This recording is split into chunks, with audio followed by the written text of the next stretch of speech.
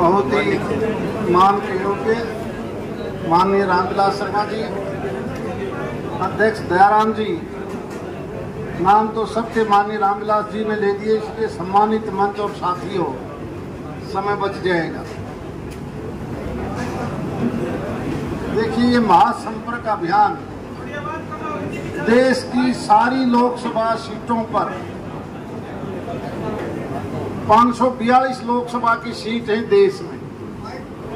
और भारतीय जनता पार्टी आवाज़ कमा रही है। तो यह बारे बार गुंजा है, भाई हम केटा पीछे आवाज़ दिया इसका सिस्टम भाई, पीछे जो लगा रखा कुछ सुधारो।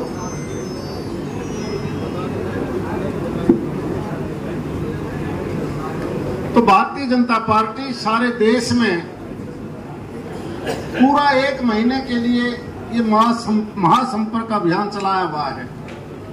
और उसी उपलक्ष्य में हम पिछले कई दिनों से अपनी नौ की नौ विधानसभा के सभी मंडलों में जाकर वो संपर्क साध रहे हैं। और पूरे नौ साल का कार्यकाल जैसा माननीय प्रधानमंत्री नरेंद्र मोदी जी का रहा है, उससे पहले का भारत क्या था? और इस नौ साल के भारत में क्या अंतर आया? वैसे तो मेरे बताने की ज़रूरत नहीं है। आज हर आदमी उस बात को जानता है।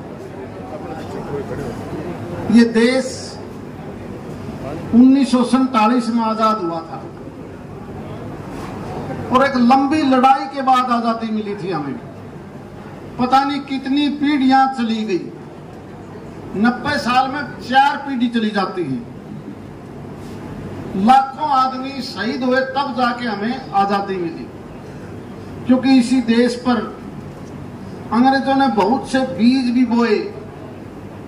जिन लोगों ने साथ दिया अंग्रेज़ों का, इन्हीं हिंदुस्तान के नवाब हों या राजा महाराजा हों, उन्होंने जानबूझ के एक ऑप्शन जारी कर दिया कि जो हमारी मदद करेगा, उसको वो गाँव हम फ्री में दे देंगे। और महेंद्रगढ़ तो भुगत भोगी है। इसी महेंद्रगढ़ को मुफ़्त में महाराजा पटियाला को मिला था। दोहरी लड़ाई लड़नी पड़ती थी। महाराजा पटियाले का के खिलाफ अलग, अंग्रेज़ों के खिलाफ अलग। और उस आज़ादी के बाद, जब उन्नीस में देश आज़ाद हुआ तो एक संविधान लिखा गया, लिखित संविधान। दो साल से भी ज़्यादा समय लगा संविधान को लिखने में। और उस वक्त के वो सारे महान पुरुष उस संविधान सभा के अंदर थे। विस्तृत संविधान कि ये देश कौन चलाएगा? इस देश की आम जनता वोट के अधिकार के द्वारा केंद्र में अपनी एक सरकार चुनेगा। प्रदेशों में भी प्रदेश की सरकार वोट के आधार पर बनेगी। विधायिका के तौर पर देश का कानून, संविधान के मुताबिक पार्लियामेंट बनाएगी। प्रदेश का कानून विधानसभाओं के मार्फत उन प्रदेशों में बनेगा। और इन सब काम करने के लिए एक कार्यपालिका भी होगी। कार्यपालिका का मतलब है कि भारत के बड़े से बड़े अधिकारी प्रदेशों के बड़े से बड़े अधिकारी और छोटे से छोटे कलरक से लेकर पटवारी तक, जितना भी सरकारी अमला है, वो बतौर कार्यपालिका, विधायिका के कहने पर उन कामों को करवाएगा और इन सब की तनख्वाह आपके टैक्स से पैसा वसूल करके वो तनख्वाह लेकर काम करेंगे, चाहे धर्मवीर हो, रामविलास जी हो, देश के प्रधानमंत्री हो, देश, प्रदेश का चीफ सेक्रेटरी हो। परंतु देश की आज़ादी की लड़ाई तो सबने लड़ी। जैसे जैसे सत्ता हमारे हाथ में आई, हिंदुस्तान के लोगों को चुन के जाने के बाद सत्ता हाथ में आई, एक नई बीमारी पैदा हुई। ये मेरा, ये उसका। इसने मेरा वोट दिया, इसने मेरा वोट नहीं दिया। ये हमारी पार्टी का है, ये दूसरी पार्टी का है। और अपने अपने हित को ध्यान में रखकर एक ऐसा माहौल देश में पैदा कर दिया कि बगैर सिफारिश काम ही नहीं हुआ सिफारिश चाहे पैसे की हो या पॉलिटिकली हो। संविधान के मुताबिक जब देश को चलना चाहिए था तो वो हम नहीं चला पाए। आज आप विकसित देश की अगर बात करें, आप यूरोप के विकसित देश में जाइए, अमेरिका में जाइए, वहाँ पर आम आदमी भी उसी लाइन में मिलेगा। वहाँ के किसी लोकसभा के सांसद को या असेंबली के सांसद को, लीडर को कोई नहीं जानता, वो भी उसी लाइन में मिलेगा। और हमने अलग अलग कर दिया। देश के प्रधानमंत्री नरेंद्र मोदी जी ने जैसे ही सत्ता संभाली, सबसे पहले निर्णय लिया कि ये देश संविधान के हिसाब से चलेगा। उनका सपना है कि दो तक मैं विकसित देश की श्रेणी में लेके आऊँगा इस हिंदुस्तान को। मैं मानता हूँ, इतने साल की लंबी बीमारी क्योंकि हमारी आदत सबकी ढल चुकी थी। यूँ सोच के कि भाई तुम्हारी सरकार आ गई। और फिर लाके कह पहले डाकी भी तो चल लिया करती धर्म तारी कोई नहीं सुनता। रामविलास जी तन्ने काम दे के गए थे तम क्यों नहीं करवाते काम? और ये कहीं ना कहीं दर्द छलकने लग गया सभी वर्कर को क्या एक तबादला का आधा यू तो होया कोई यह बनी ने। लेकिन संविधान में ये कहीं नहीं लिख रखा कि सिफारिश पर तबादला होगा। चाहे केंद्र हो या प्रांत हो प्रधानमंत्री जी ने बढ़ते ही इस चीज़ को सख्ती से लागू कर दिया। एक बार पंडित चिरंजी लाल एक्सपायर हुए तो मैं उनका लड़का था कुलदीप शर्मा। वो मुझे बताने लगे कि हमारे बाबू जी कहा करते कदे एमपी बनोगे जब मेरा लगेगा। ये कड़े तबादले ठाई हंड हो सो। फाइला ने घूमी जाइयो, लेके उल्टे आ जाओगे, चाहे एक भी तबादला हो जाए मेरे गलत पड़े हैं। कोई न्यू कहा मैं रेल में लाग रहा मद्रास बदली करवा दे। लेकिन प्रधानमंत्री जी ने एक पॉलिसी बना दी जो माननीय रामविलास जी ने एजुकेशन की पॉलिसी बनाई थी हरियाणा में, कि सिर्फ़ पॉलिसी के हिसाब से तबादला होगा। सारे देश में उसी प्रकार से ये काम होते हैं। और मोदी जी ने देश के सभी प्रांतों में डायरेक्शन दे दी, कि नहीं, हमने देश को आगे बढ़ाना है। ये सिफारसी चक्कर छोड़िए। इसलिए ये जो इंटरव्यू सिस्टम था, सबसे पहले केंद्र ने लागू करा देश में कि क्लास वन और टू छोड़ के क्लास थ्री और फोर्थ में कोई इंटरव्यू नहीं होगा। मेरिट के ऊपर नौकरियाँ लगेंगी। और उसका फॉलो हरियाणा सरकार ने भी किया, देश के बहुत से प्रांतों ने किया। जन धन खाता जो खोला गया, वो केवल इसलिए खोला था कि डायरेक्ट बेनिफिशियरी को सीधा पैसा मिले, बिचौलिए को ना जाए। उदाहरण के तौर पर आज गेहूँ का पैसा, सरसों का पैसा, न केवल हरियाणा में, पंजाब में भी अगर सीधा पैसा जाता है, इस देश का पार्ट है पंजाब बेशक विपक्ष की सरकार हो, वहाँ का मुख्यमंत्री का एक दिन मैंने बयान पढ़ा कि मैंने पच्चीस हज़ार करोड़ रुपया सीधा खाता में भेज दिया। अरे तुम कौन होता है भेजने वाला? जो पैसा तो सारा भारत सरकार की गाइडलाइन है, उन्हीं की जिम्मेवारी पर पैसा दिया जाता है। आज की सरकार किसी प्रदेश से भेदभाव नहीं करती। पहले जो टैक्स की कलेक्शन थी, वो एक अलग अलग सिस्टम से आती थी। पहली बार जीएसटी लागू की नरेंद्र मोदी जी ने, और सरकार चलाने के लिए धर्म, जाति, वोट की राजनीति नहीं वो कहते हैं, वोट की राजनीति मत करो, हमने देश को अग्रणी देश में लेके जाना है। और जिस देश में जात, पात, धर्म गोत्र चल जाएगा, वो देश आगे नहीं बढ़ पाएगा। यही नरेंद्र मोदी जी का सपना था। इसीलिए उन्होंने जो नियम कानून बनाए, आज उसी की वजह से लगभग पौने दो लाख करोड़ रुपया महीने का बतौर जीएसटी इकट्ठा होता है। बजट देखोगे तो पैंतालीस लाख करोड़ से ज़्यादा का बजट इस देश का सालाना है। उसी पैसे में से केंद्र की सारी योजनाओं के ऊपर पैसा खर्च होता है। और सभी प्रदेशों को बगैर भेदभाव के, अनुपात के हिसाब से पैसा दिया जाता है, ताकि वो प्रदेश भी अपना काम कर सके। प्रदेश का जो अलग अधिकार है, उनका जो टैक्सेस का कलेक्शन का अलग है, वो अपना अलग लगाओ सेस अलग लगाओ। उनका और जो अर्निंग है रेवेन्यू की वो अलग ले सकती है। लेकिन केंद्र सरकार ने अनुपात के तौर पर पैंतालीस लाख करोड़ में से उनको भी देते हैं। पंचायत के खाते तक देते हैं। आप अगर देखोगे पीआरआई का पैसा पंचायत के खातों में जनसंख्या के आधार पर वित्त आयोग की कमीशन के बाद, की रिकमेंडेशन के बाद, सारे देश की जनसंख्या जो एक सौ बयालीस करोड़ है, चाहे वो शहर की हो या गाँव की। एक आदमी को 200 से गुना कर दो। वो पैसा साल में दो बार किस्त में ज़रूर आएगा।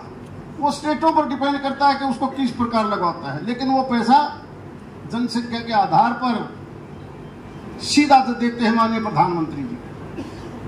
किसी प्रदेश से भेदभाव नहीं करते। नीति आयोग जो बना है, वो किस प्रकार से हमने रेल की स्ट्रेंथनिंग करनी है? रेलवे के अंदर हमने डबल लाइन करनी है, या इलेक्ट्रिफिकेशन करनी है, या इन स्टेशनों को अपग्रेड करना है, या नई ट्रेन चलानी है, लंबी दूरी की हो डबल डेकर की हो, ये सारा काम रेलवे मिनिस्ट्री करेगी इसी बजट में से। पहले रेलवे का बजट अलग होता था, अब वो बजट के अंदर शामिल कर दिया। अगर डिफेंस की बात लें तो आज से नौ साल पहले रक्षा मंत्रालय की क्या पोजीशन थी? मैं पाँच साल डिफेंस की कमेटी में रहा हूँ। लेह लद्दाख से लेकर नॉर्थ ईस्ट तक, चाइना के फौज उन्होंने बेस बनाकर एयर बेस तक बना रखी थी। और हमारे अपने अधिकारी कहते थे कि अगर इन्होंने कभी अंदर आने की कोशिश करी तो हमने तो तीन दिन लग जाएँगे नीचे से आने के लिए, क्योंकि हमारे पास सड़कों का इंफ्रास्ट्रक्चर नहीं है। और आज आप जाके देखिए सारे बॉर्डर पर, सारे हिमालय के ऊपर बीआरओ ने बनाई हो या एनएच ने बनाई हो, ऐसी सड़कें बना दी और हमारे देश बन गए। चाइना ने तो सोची थी कि पलड़े की तरह सरकार होगी। लाम की छोटी सी घाटी है। थोड़ी सी सड़क बाकी थी, वो सोचा थे दो दिन में बना दी और ये वहाँ ठा के नहीं देख सकते, उल्टे भागना पड़े यानी ये है एक मज़बूत प्रधानमंत्री का काम। विदेशों में, आज दुनिया दो ताकतों में बढ़ चुकी है। अमेरिका और यूरोप एक प्लेटम बैठे हैं। रशिया और चाइना एक पलट में बैठे हैं। हर रोज आप रशिया यूक्रेन का झगड़ा देखते हो। पाकिस्तान की क्या हालात है? अरबिन कंट्रीज़ की क्या हालात हैं? पड़ोस में श्रीलंका हो, दूसरे देश हो। एक दूसरे को कोई देखकर आँख भी सीधी नहीं मिलती। एकमात्र हिंदुस्तान ऐसा देश है, एकमात्र। लड़ाई सारे के आपसरी में। अगर कोई दूसरा देश रसिया पे तेल मांग ले तो उसके ऊपर पाबंदी लगा देता है अमेरिका या यूरोप। हर जगह। और हिंदुस्तान की ताकत देखिए, अमेरिका को भी कह देता है कि आप चुप रहिए, हमें तेल की ज़रूरत है तो रसिया से लेंगे। और रशिया अगर यूक्रेन के अंदर गड़बड़ करता है तो हमारा प्रधानमंत्री वहाँ भी आँख दिखा देता है कि हमारे बच्चे हैं पहले पहले उनको निकालो। तो किसी की हिम्मत नहीं। यूक्रेन का राष्ट्रपति भी यहाँ आके कहता है, मोदी जी, हमारी तरफ़ थोड़ा सा ध्यान कर और खुले हम कहते हैं, रसिया की हाजिरी में कि नहीं, ये मानवता का खिलाफ है, हम यूक्रेन के साथ आप ऐसा कर रहे हो, गलत है। क्या किसी दुनिया का, इतने बड़ी दुनिया में किसी देश के प्रधानमंत्री की इतनी बड़ी औकात है जो दोनों ताकतों को प्यार से करे, डरा के करे? और बात मनाए केवल अपनी कभी नहीं देखा वरना तो छोटी सी बात होते ही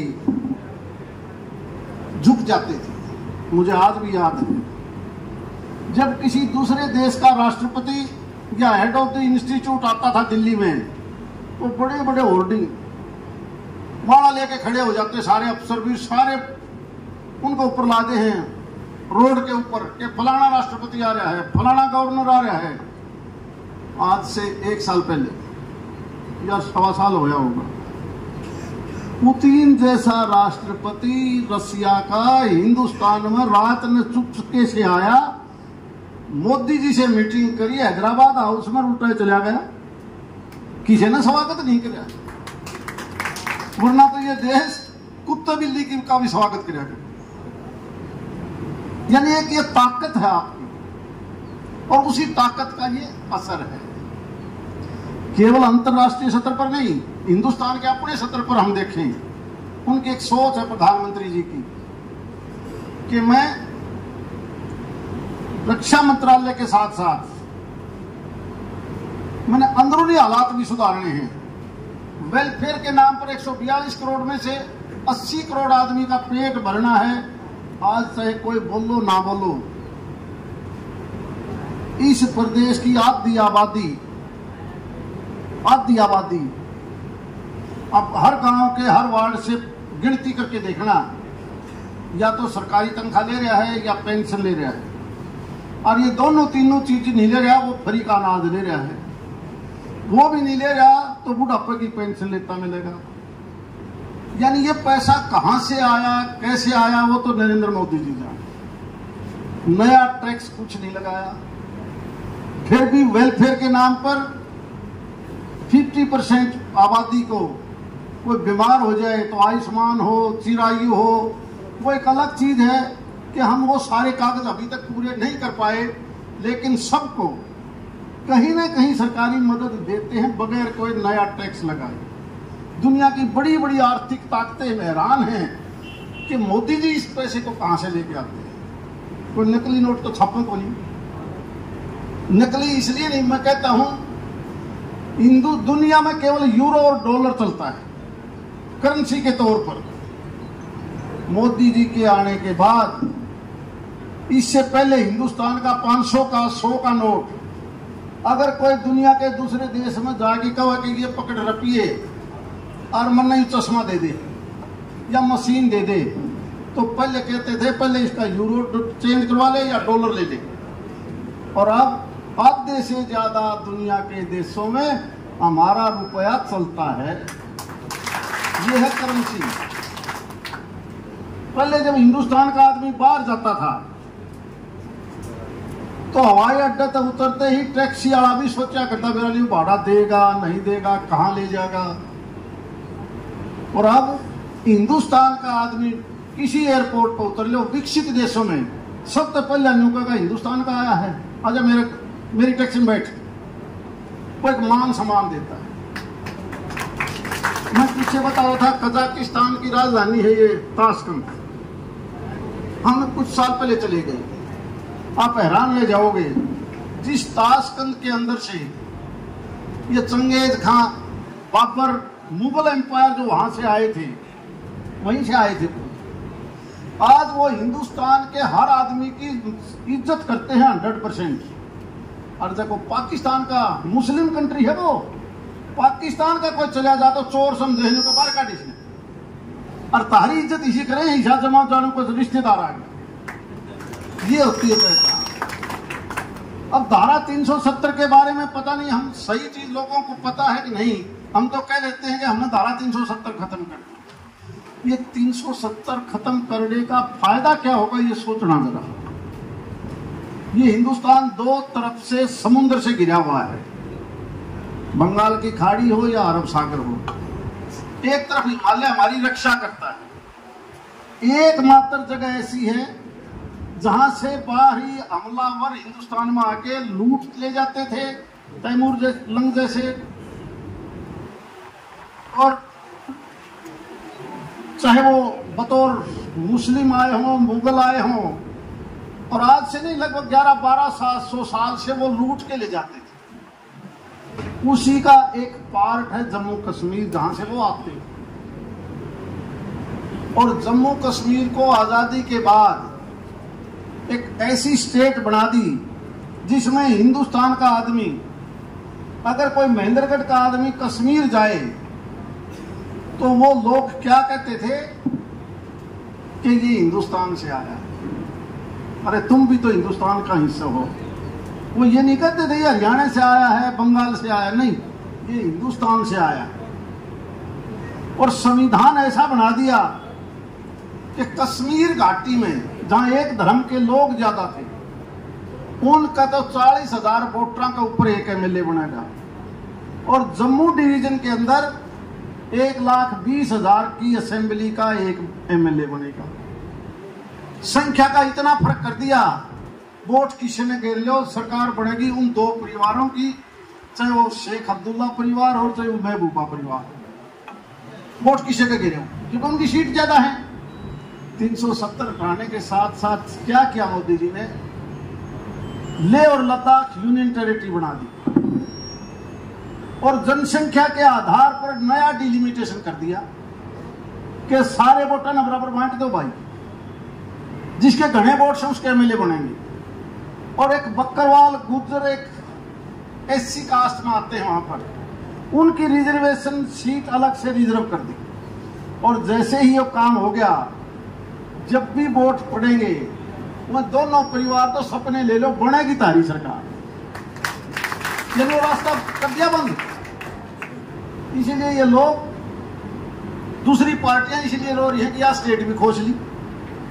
खोज के कहीं और नहीं, लेके कहीं हिंदुस्तान में मिल गई। अब सारा एक पार्ट हो गया। यानी प्रधानमंत्री जी की सोच देखिए। कोविड जब आया तो एक फैसला लिया कि हमने हर आदमी को स्वस्थ रखना है। इसलिए देश में पहली बार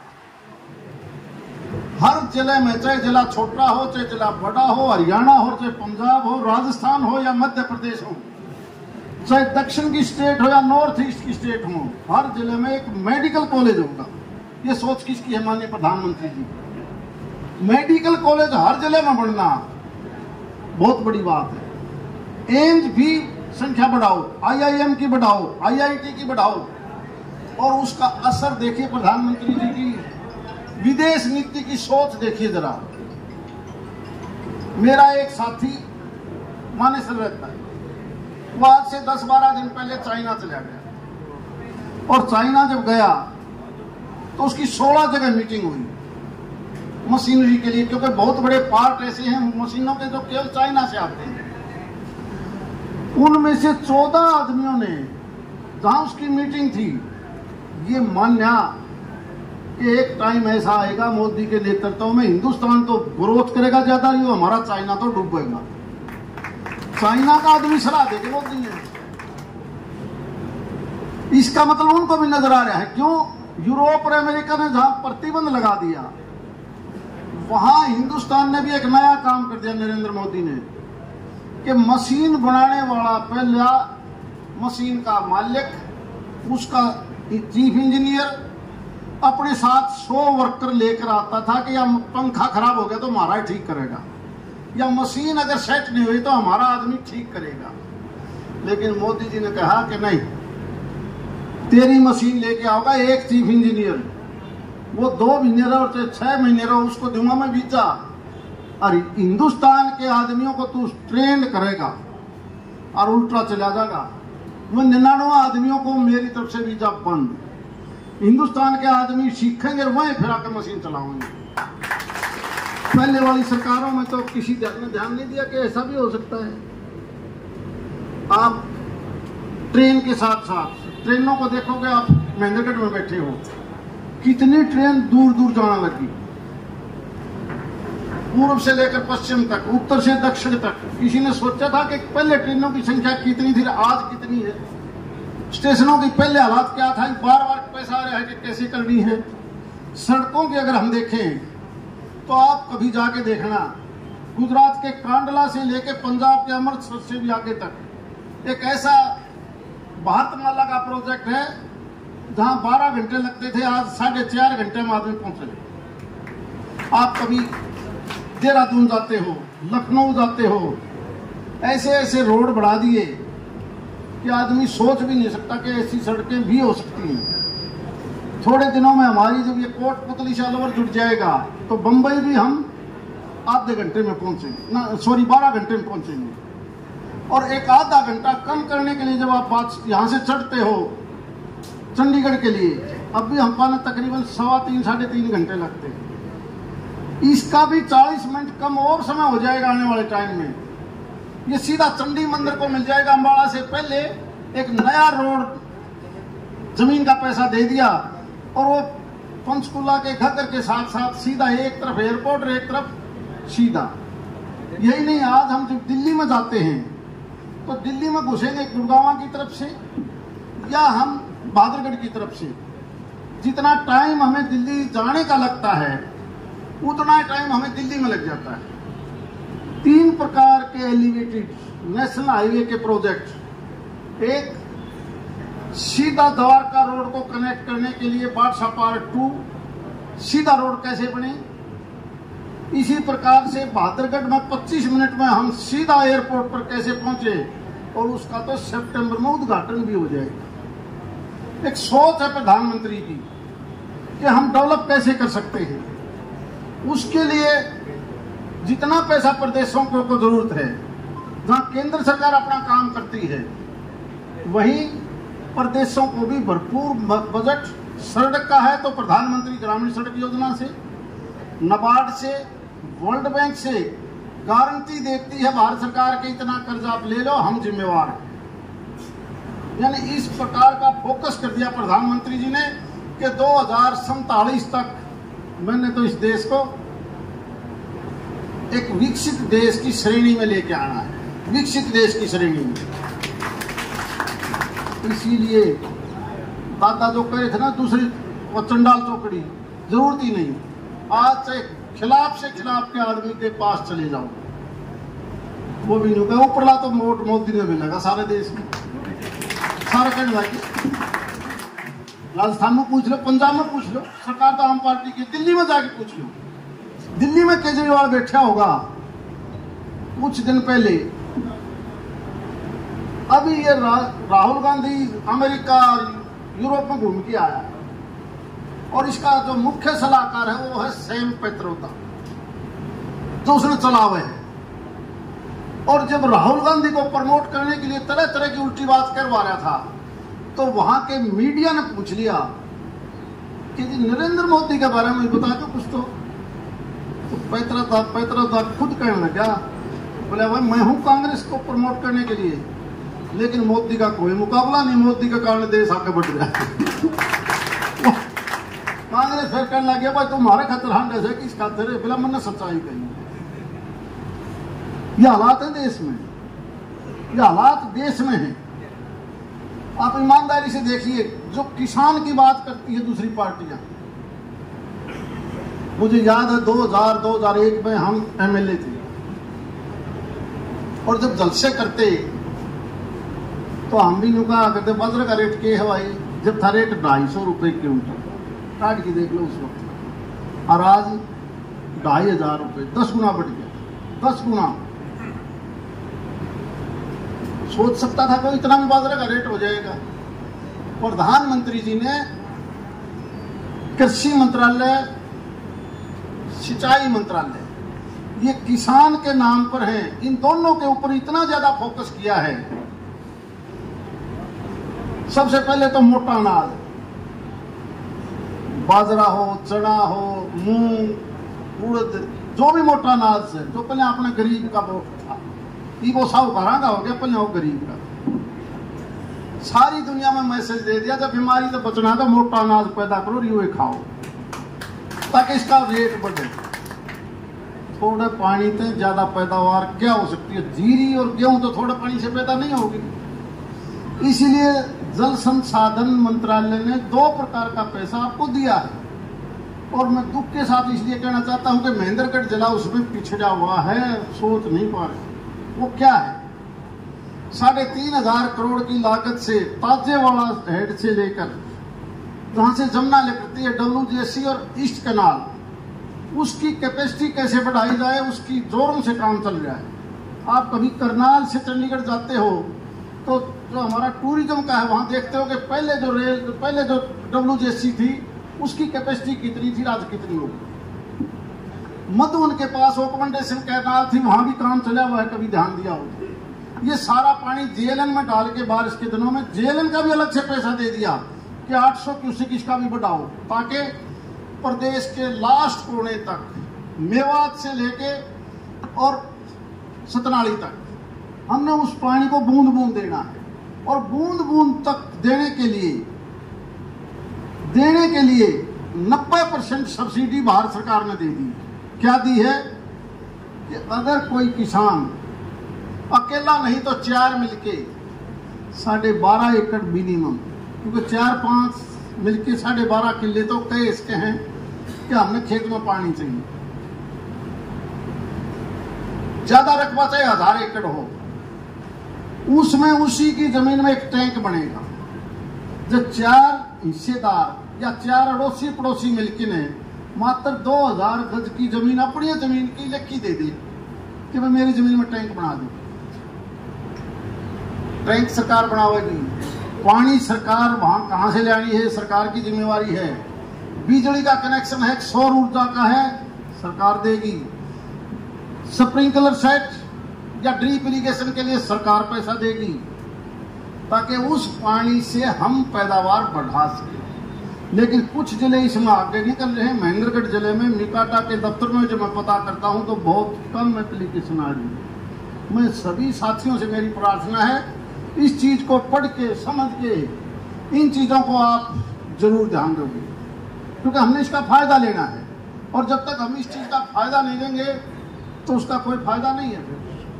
इसी प्रकार से हर घर में नल नल में जल, ये स्कीम भारत सरकार की पहले जितनी पाइपलाइन होती थी, वो प्लास्टिक की होती थी। अब सरकार ने सारे देश का टारगेट फिक्स किया कि 2024 के आखिरी तक मैंने देश के हर गाँव, हर ढाई में ये पानी देना है पीने का। इसलिए लोहे की पाइप खरीदी जा रही है सारे देश में। हरियाणा में 40 परसेंट पाइप आ लिया 60 परसेंट नहीं आया है।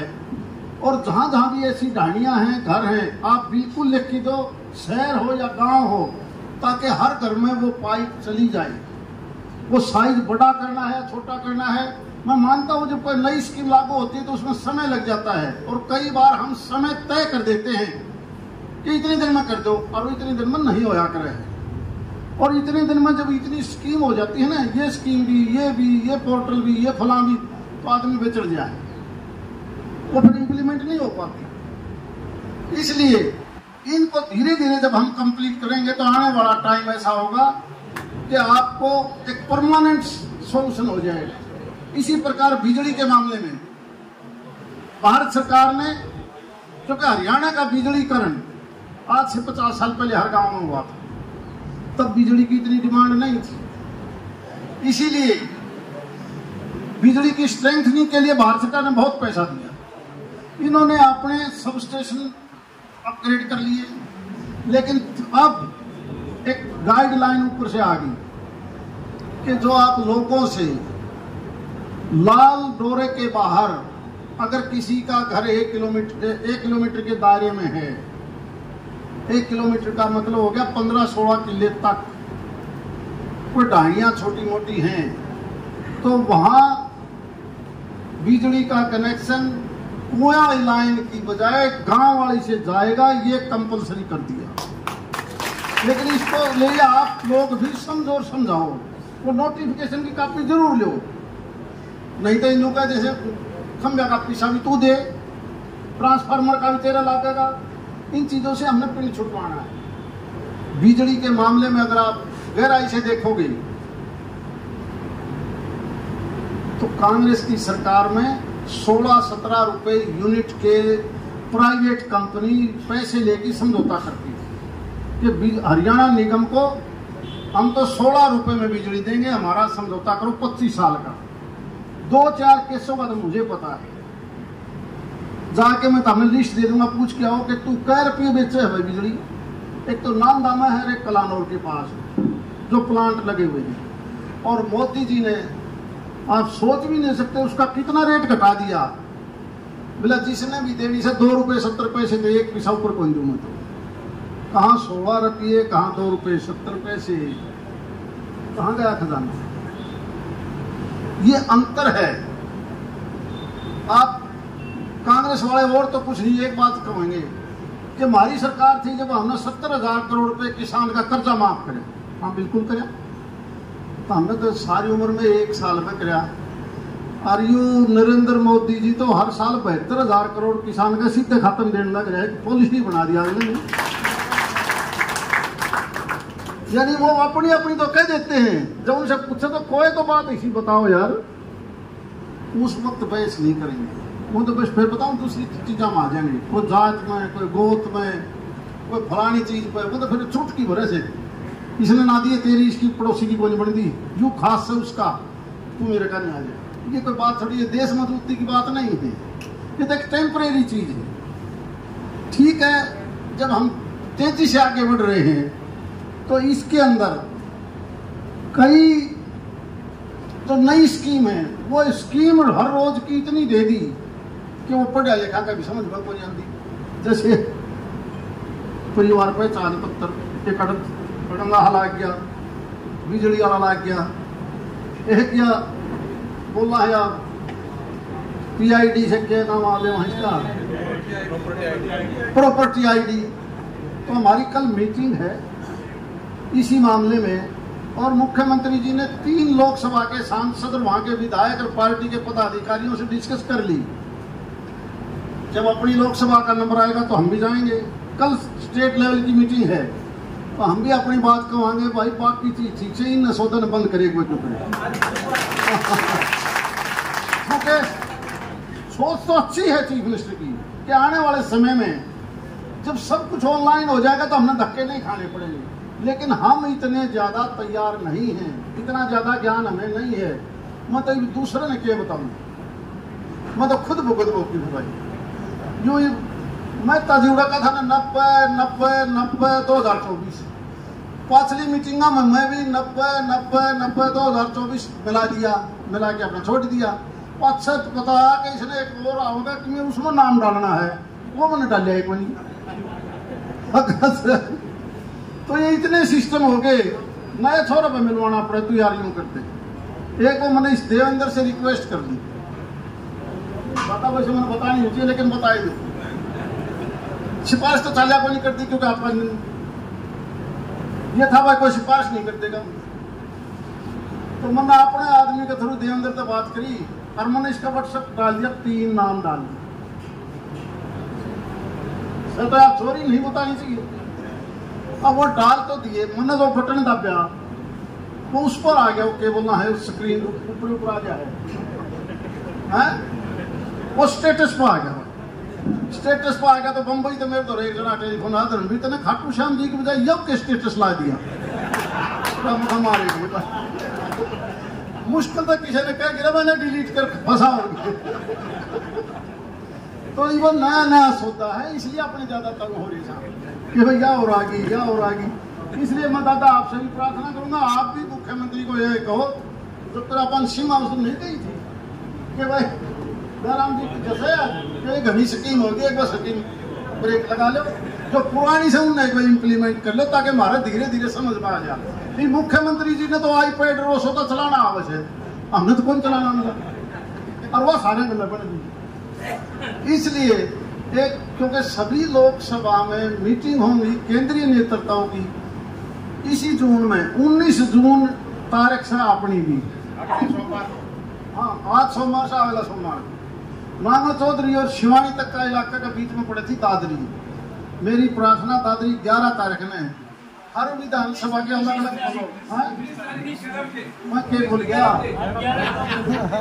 उल्टा बोल गया। सॉरी उन्नीस तारीख को ठीक ग्यारह बजे। ठीक ग्यारह बजे। दादरी। हर विधानसभा के अलग अलग सीट रिज़र्व करी है। और केवल एक हज़ार सीट रिज़र्व है, ज़्यादा नहीं करी। और हज़ार तो मेरे हम भी जब पाँच पाँच लाओगे तो हज़ार तो चट जाए तो सिर्फ़ हज़ार आदमी अपना महेंद्रगढ़ ब्लॉक का नंबर शायद छठा है उस ब्लॉक में। उसमें अपने चले जाओ। एक बात आता जब आप देवीलाल चीफ मिनिस्टर था ना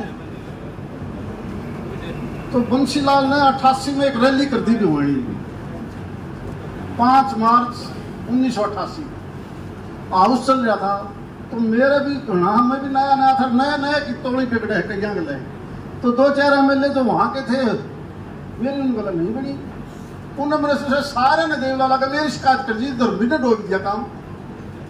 तो देखभाल बोला, भाई इसने किए किया था बोला, यू मारा कम जा पड़े है, यू मेरा में पड़े है, इसने न्यू कर दिया। तो जब बंसीलाल वाले वर्कर लाग रहे थे ना, वो पाँच मार्च की रैली की तो उनका माइक मेरे से किसी ने सुना, वो कि ये पाँच, ना, पाँच पारक पाँच पारक उन्नीस सौ अठासी। मार्च को मैं भूल पाँच तारीख को भूल गए। पारक, पाँच पारक। तो न्यू मैं भूल गया था उन्नीस और ग्यारह। बहुत बहुत धन्यवाद, जय हिंद।